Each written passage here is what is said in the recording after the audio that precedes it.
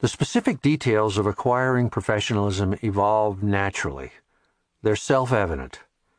When Rosanne Cash had her dream, she got the message. The epiphany is everything.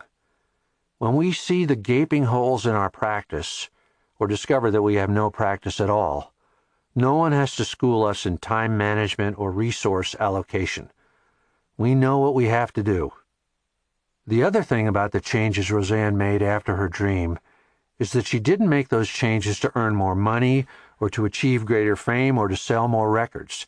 She made those changes out of respect for her craft.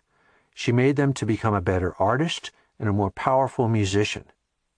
When we elevate our game aesthetically, we elevate it morally and spiritually as well.